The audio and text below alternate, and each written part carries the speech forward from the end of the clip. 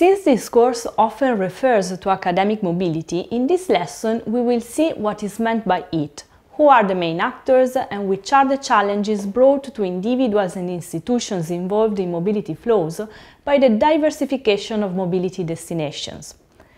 Academic mobility refers to members of the academic populations, namely students and staff, who move within countries in the world to spend a certain period abroad to carry out various academic activities, from study to research, teaching and doing internship.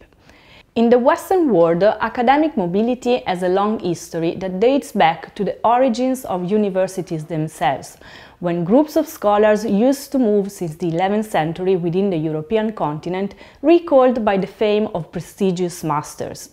Also today, the individual pursuit of excellence of learning and teaching is one of the driving forces of mobility, but in the last decades, academic mobility increasingly assumed also a core role for the internationalization strategies of higher education institutions, for the creation of higher education and research common areas, such as the European higher education area, for the benefit of the knowledge economy and the resilience of its human resources. If as students, professors and researchers you can still travel as free movers, Currently, you have an array of institutional schemes available to mobilize. Just think, for example, to the well-known Erasmus program.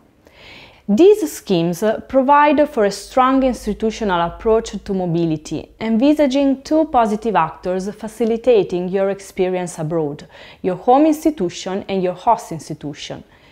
In this framework, mobility is never a single individual experience, but it is offered within a wider scheme of institutional cooperation. It is not only moving individuals for their own career development, it's also about creating connections and fostering joint efforts for mutual benefit and advancement, and to face common challenges. In this setting, both actors strive to offer a package of services enabling you to enjoy all the aspects and challenges a mobility abroad brings about, such as cultural diversity, language barriers and integration in a new environment. In the same way, the role you may have within your mobility is highly multifaceted, we can say, in fact, that traveling within such a framework, students and staff are never only one single thing. They are of course individuals, but also become sort of ambassadors having the responsibility to represent a broader identity connected to their home institution, their home country and their own culture in the contexts and societies within which they will operate. When it comes to contexts and societies, academic mobility involves today the entire globe and various interlocutors. If it is true that destinations in Europe and more generally in the global north are still top ranked, the volume of flows looking for non-standard locations in the global south is also increasing. From one side, the widening of the geographical scope and dimension of research and learning that are connected progressively to local, regional, national and international challenges has called for a diversification of experiences. As an example, studying or investigating on tropical disease brought by migration flows may highly worthwhile to have an in-the-field experience directly in a tropical country.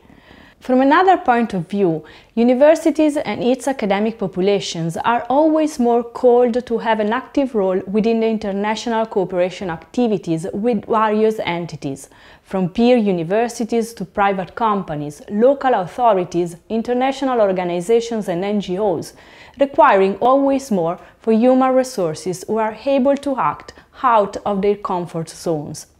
As a consequence, also the type of academic mobility students and staff embark today is more diversified than in the past.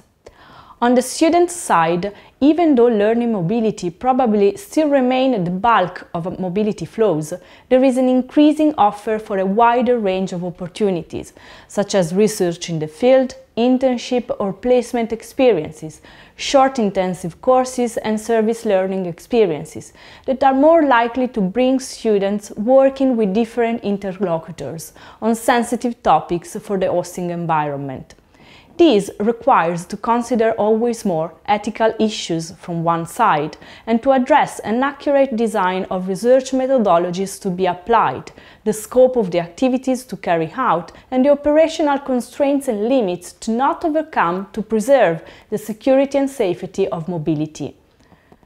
On the staff side, research and teaching are the main reasons to move yet. Nonetheless, activities such as job shadowing, knowledge sharing, capacity building, collaborations in the developing countries with actors like NGOs are also increasing. To conclude, the progressive diversification of mobility destinations and type of activities has risen attention on issues connected either to the role mobile students and staff cover in the host context and the role the institutions involved, particularly the home institution, cover to preserve students and staff security and safety. To face the challenges brought about mobility, institutions are concentrating their efforts to improve the efficiency and effectiveness of services for mobile students and staff, particularly pre-departure and risk management preparation, to set up reliable partnerships with various interlocutors, and last but not the least, to promote the awareness of their mobile students and staff about their security during an academic travel.